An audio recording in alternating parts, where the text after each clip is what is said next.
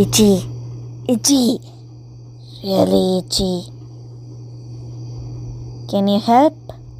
Or will you stand there taking a video of me? Go on. Itch it out. It's just a bug. In middle of feathers. It's not going to hurt you. Fine, I'll do it by myself. You didn't know I could turn my head? You thought I was going to stay there?